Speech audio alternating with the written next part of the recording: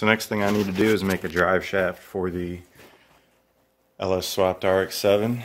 So what I've got here, this drive shaft was what I originally made. It's got the TH350 and this is the original RX-7 drive shaft.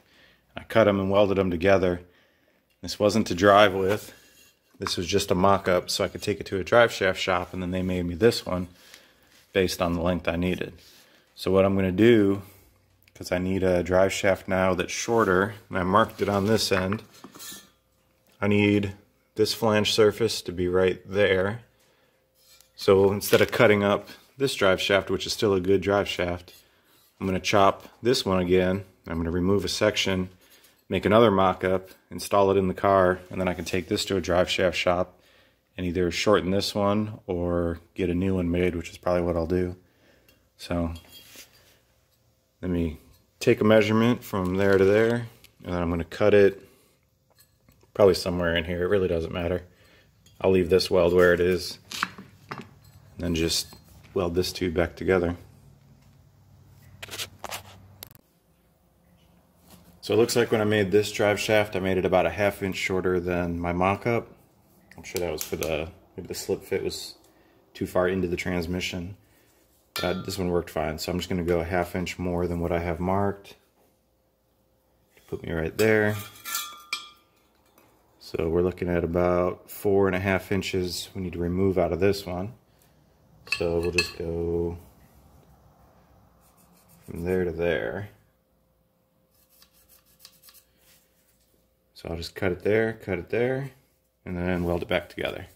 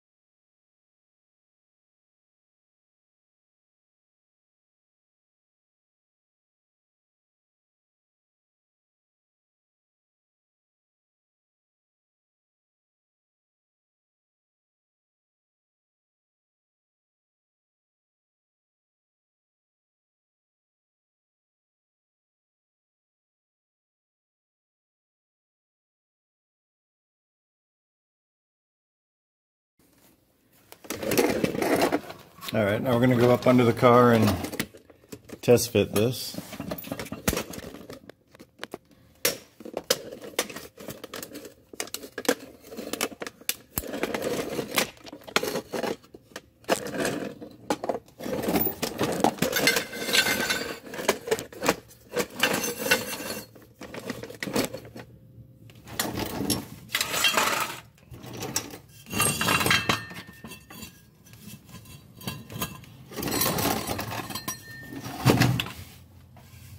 So here's the half for the transmission.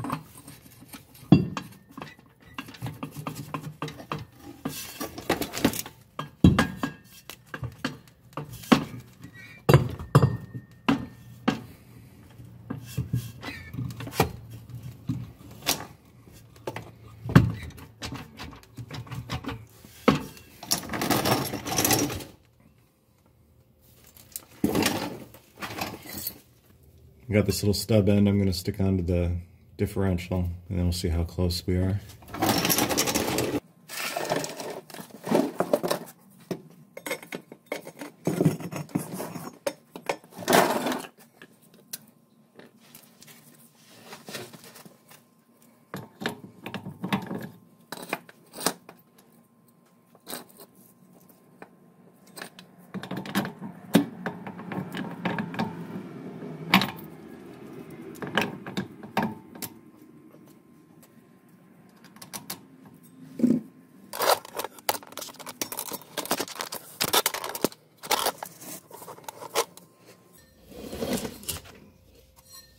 Alright, so I got my little stub end loosely bolted to the rear flange.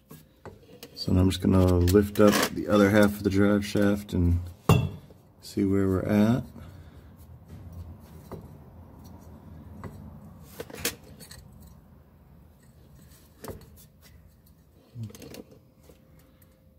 So holding this end up there, got about a half inch gap. I'm going to bottom out this end of the drive shaft up into the transmission again. Pull it out about a three quarter of an inch or so.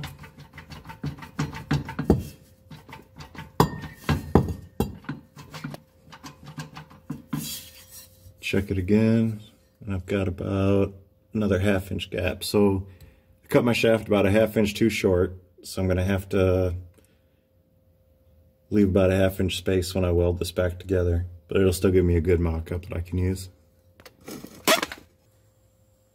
All right, I got the two halves of my drive shaft. I got some little pieces of L-angle I cut. L-angle is sort of self-centering when you push it onto a tube, so I'll use these to line it up, tack it all together. I'm gonna leave these on since I need that half inch gap right there, and then be ready to test fit it.